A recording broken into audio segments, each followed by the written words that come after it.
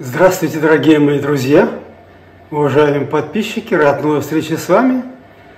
И сегодня я представлю вашему вниманию главную тайну Токаева Назарбаева. И отправной точкой в этом вопросе будет вынесение приговора экс-председателю Комитета национальной безопасности Республики Казахстан Кариму Масимову. Я процитирую, потому что здесь нужно точно указать. Суд признал Карима Масимова виновным по части 1 статьи 175 «Государственная измена», части 3 статьи 179 «Насильственный захват власти», пункту 3 части 4 статьи 362 «Превышение власти и должностных полномочий» Уголовного кодекса Республики Казахстан. Кариму Масимову назначено наказание в, теч... Э, в виде 18 лет лишения свободы – с конфискацией имущества и пожизненным э, лишением права занимать должности по государственной службе. А я хочу внести ясность в некоторые действия Нурсултана Назарбаева и Токаева. Во-первых, суд проходил в закрытом режиме, из народа не было доведено в пользу какого государства изменял родине Карим Масимов. Хотя можно догадываться – Поскольку Карим Масимов был агентом Комитета государственной безопасности Союза СССР, то он мог работать в пользу Российской Федерации.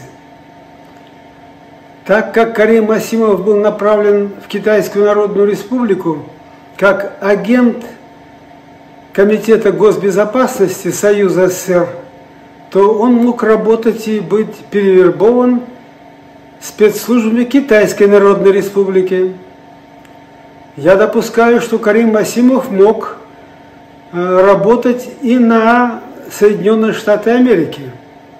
Косвенным доказательством может быть то, что несколько лет тому назад появилась утечка из офиса президента Соединенных Штатов Америки, что Карим Масимов может быть допрошен специальными службами Соединенных Штатов Америки. Но вместо этого приехав в Соединенные Штаты Америки, Карим Масимов встретился с госсекретарем США, господином Помпео, и это как раз подсказывает, что он может работать и на Соединенные Штаты Америки.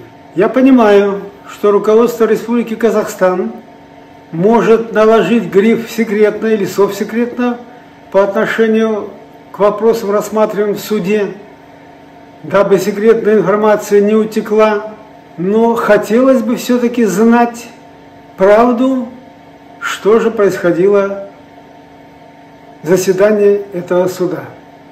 Неплохо зная Карим Масимов с 1999 года, хочу отметить, что он, репутация его, откровенно говоря, негативная. Он был непорядочным, лживым, способным, исходя из ситуации, перевернуться в любую сторону в любой момент времени. Во всем он видел только выгоду для себя, личную выгоду. Исходя из вышеизложенного, может сложиться мнение, что он осужден заслуженно, но есть ряд «но», на которые почему-то никто не обратил внимания. Но Султан Назарбаев – долго бы подбирал для себя угодного человека, который бы он мог доверить, если не свою судьбу, ну, поскольку у Токая кишка тонка, провести какие-то мероприятия по отношению к бывшему своему шефу, ну, Султану Назарбаеву, ну, хотя бы заручиться того, что никто не будет ковыряться в грязном белье первого президента Республики Казахстан. 19 марта 2019 года Насултан Назарбаев устроил для себя шоу в парламенте. Главным действующим лицом этого шоу был, конечно же, Насултан Назарбаев. Токаев в этот день полностью удовлетворил все потребности Нурсултана Назарбаева, и звание Героя Казахстана Халык Кахарманы было вручено Нурсултану Назарбаеву, и столица Казахстана была переименована в Нур-Султан. Вглядываясь в довольное лицо Нур-Султана Назарбаева, я понял, что он наконец-то получил то, чего он хотел. Но шло время. Назарбаев не спешил, не горел желанием передать власть в руки Токаеву. Как говорили в народе, транзит власти затянулся. Председатель Совета Безопасности приглашал к себе на совещание президента Казахстана, премьер-министра, спикеров э, парламента, министров.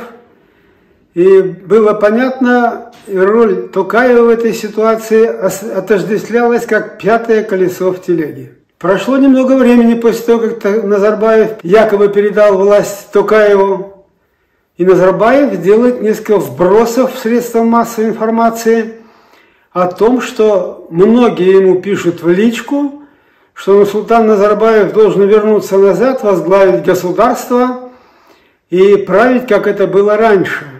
Ну, хорошо зная натуру Нурсултана Назарбаева, если он уже сказал что-то, то он обязательно вернется к этому вопросу. Видимо, из офиса президента в библиотеку поступала какая-то негативная информация. Но король правил, и в октябре месяце 2021 года он отправляет Мамина, премьер-министра Казахстана в Объединенные Арабские Эмираты, и тот подписывает с Арабскими Эмиратами соглашение, в соответствии с которым фонд благосостояния Самрук Казына переходит под управление какого-то фонда с э, бизнесменами из Казахстана.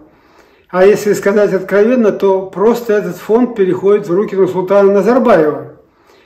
Под какие-то там совершенно непонятные обязательства якобы этого фонда. Я об этом делал специальный ролик по этому вопросу.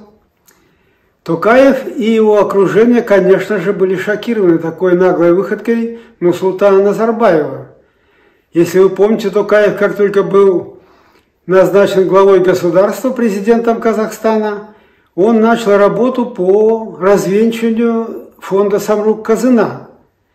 Это был единственный фонд, в котором еще были государственные активы, и посредством присвоения которых Токаев – мог бы обогатиться, а в данной ситуации все уплывало из его рук. Естественно, Такаев не мог с этим согласиться, и началась соответствующая работа. И вновь я думаю, что из э, офиса президента и правительства попала информация в библиотеку о том, что готовится постановление, отменяющее то соглашение, которое было подписано Оскаром Маминым в Объединенных Арабских Эмиратах. Э, и что готовится соответствующее постановление правительства в парламент Республики Казахстан об отзыве проекта закона о ратификации этого соглашения в парламенте. Именно поэтому Назарбаев в конце года и не мог отпустить Токаева на неформальный саммит СНГ, и мы все видели, как президент Казахстана в кавычках прибыл на этот неформальный саммит в Санкт-Петербург на крыльях председателя Совета Безопасности. Увидев, что Назарбаев становится свадебным генералом в странах СНГ, а все вопросы взаимодействия Российской Федерации и Казахстана будут решаться теперь Владимиром Путиным и Касымжамартом Тукаевым. И особенно, когда закончился этот неформальный саммит, Тукаев и Путин продолжили работу вместе, а едва двигающийся Назарбаев был провожен, так сказать, с этого саммита президентом Беларуси э, Александром Лукашенко. После того короткого сюжета по телевидению никто на султана Назарбаева больше не видел ни в стране, ни на телевидении. 1 января 22 года население Республики Казахстан ожидал сюрприз. Но я сейчас немножко приоткрою завесу, который был заранее запланирован еще в начале 2019 года – на основании закона о газе и газоснабжении было принято соответствующее решение, что с 1 января 2022, 2022 года э, стоимость сжиженного нефтяного газа будет определяться на электронных биржах по реализации этой продукции. Но цель была установить в соответствии с этим официальную, так сказать, стоимость этого газа, но это была мина замедленного действия, которая могла бы вызвать тот негативный резонанс, который впоследствии был определен, и он начался с запада Казахстана. Когда с 1 января 2022 года повысились стоимость сжиженного нефтяного газа в два раза, население начало возмущаться. И как снежный ком это возмущение прокатилось практически по всем территориям э, Казахстана. Такая, как мы помним, начал свои неуклюжие действия по решению этого вопроса. Во-первых, он пошел на поводу у тех, кто требовал снизить стоимость на газ. Он тут же принял соответствующее решение, а в дальнейшем постарался как можно быстрее отправить в отставку правительство. Но он правительство отправлял в отставку не потому, что он напугался, положим, тех же протестантов – а ему необходимо было мамина отправить в отставку, поставить своего премьер-министра Республики Казахстан, потому что уже готовилось постановление об отмене того соглашения, которое подписал Мамин. И отправив правительство в отставку очень быстро, он породил и политические требования со стороны народа Казахстана. Я думаю, что Нусултан Назарбаев в этот момент, конечно, э, был рад о том, что вот этот момент, который происходит в Казахстане, позволит ему вернуться назад под предлогом того, что такие-то беспорядки начались в Казахстане, он возвращается назад. Ну, как мы видим, мирные митинги, шествия, демонстрации – получили, получили политическую направленность, и народ скандировал «Шалкет, шалкет, шалкет». Назарбаев был обескуражен таким положением дел. Он не ожидал, что будет такой негатив по отношению к нему. Тогда Назарбаев, как говорят участники этих событий, принял решение ввести режим управляемого хаоса в Казахстане. Предварительно он дал Каримову поручение Масимову ни в коем случае не задействовать работников Комитета национальной безопасности э, в поддержании правопорядка в Республике Казахстан. Такое же поручение он дал министру внутренних дел и министру обороны Республики Казахстан, поскольку они все подчинялись председателю Совета Безопасности Почему Токаев не мог ничего решить по отношению к этому и был недоволен тем, что силовики не принимают должных мер по наведению порядка. И когда эта информация прошла по силовым структурам, то появились боевики, те группы лиц, которые являются боевиками членов семьи Назарбаева – и беспрепятственно начали грабить банки, банковские банкоматы, магазины, супермаркеты и так далее. А, ввели положение страха народ Казахстана, и особенно проявилось в городе Алматы, поскольку лагеря были расположены в горной местности Алматинской области, откуда пришли эти боевики. Тогда-то и обратился наложивший штаны Токаев э, в ОДКБ с целью оказать помощь по поддержанию закона и правопорядка в Республике Казахстан. Он истерично кричал, что 20 тысяч боевиков, прошедших горячие точки в Сирии и других государствах, напали на Казахстан, только на Алмату напало 20 тысяч боевиков. Конечно же, ОДКБ в лице э, Владимира Путина моментально оказал содействие Токаеву, как говорится, своих в беде не бросаем. Агент Комитета государственной безопасности Советского Союза Токаев получил поддержку со стороны э, Путина мирных демонстрантов, которые вышли против режима Назарбаева-Токаева и которые несколько уже политизировались и громко скандировали «Шалкет, Шалкет». Их обозвали террористами, расстреляли – Многих посадили в следственные изоляторы, где их пытали и в конечном итоге обозвали террористами. Но я думаю, что вы все знаете, против них применялись пытки, повторяться не буду. Назарбаев появился в эфире только 18 января 2022 года.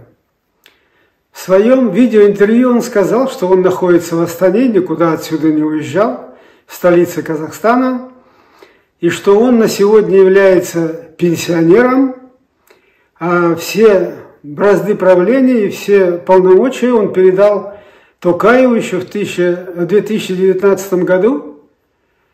Но специалисты, когда вышел в эфир Назарбаев в своем видеоинтервью, зафиксировали выход его на патриарших прудах в городе Москве.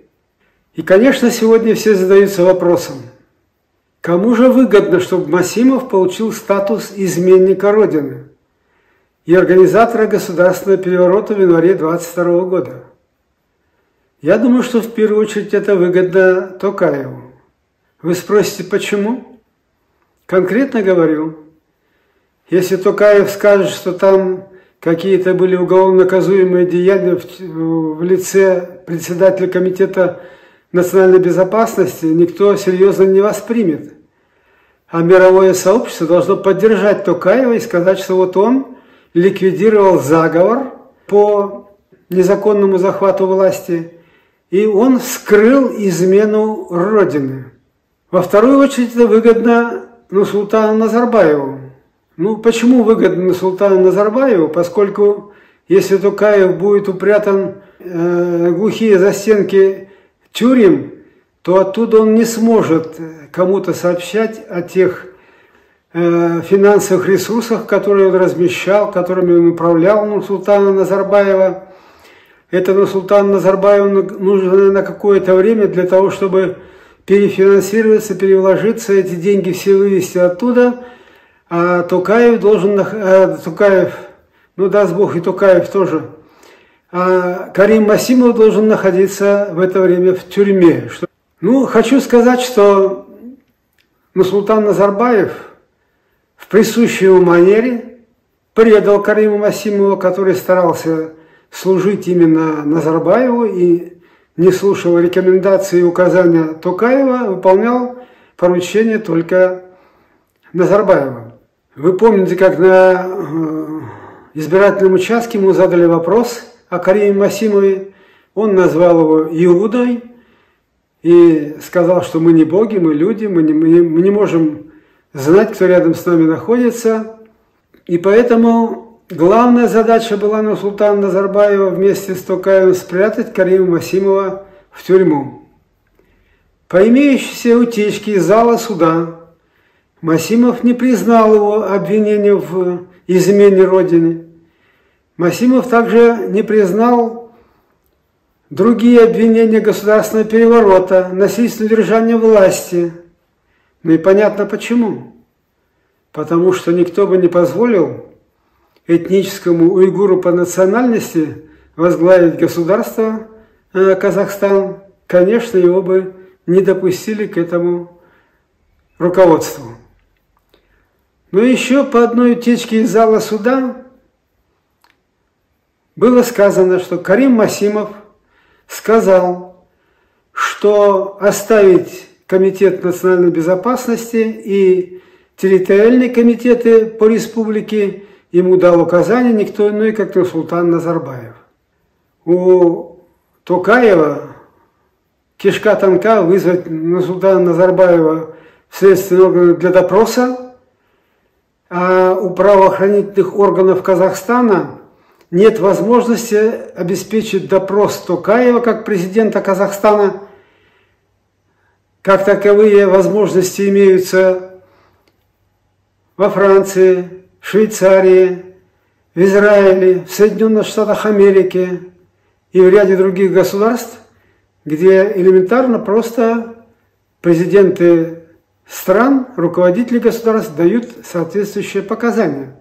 Мы, по крайней мере, на сегодняшний день так и не узнаем эту главную тайну, которая находится между Токаевым и Назарбаевым, а я вам сказал, что это за тайна, Это желание Нурсултана Назарбаева вернуться назад к руководству Казахстана, а в дальнейшем поставить другого специалиста или родственника на эту должность. А у Каева было желание за этот короткий срок, что он находится президентом, обогатиться, дабы получить финансовые дивиденды от руководства страной.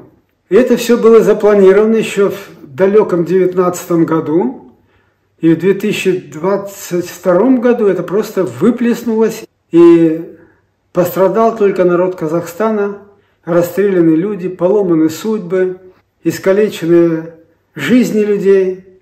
И я хочу сказать, дорогие мои друзья, что оба руководителя, Нурсултан Назарбаев и Токаев, виноваты в этих действиях. Один виноват в том, что он организовал все эти дела, другой виноват в том, что он призвал иностранные войска для наведения порядка в Казахстане. Пострадали те люди, которые вышли и были не согласны с тем режимом, они политизировались, громко скандировали, были не согласны с этой антинародной властью. И думаю, что эти оба руководителя, бывший и нынешний руководитель государства Республики Казахстан, должны предстать перед судом, и дай Бог, чтобы мы это с вами увидели. На этом я заканчиваю свое выступление, уважаемые дамы и господа, подписчики и друзья.